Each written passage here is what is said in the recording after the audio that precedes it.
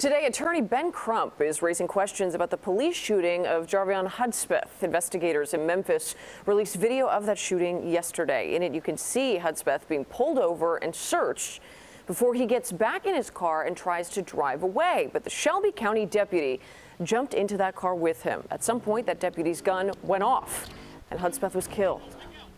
He never put that officer in threat or fear of his life.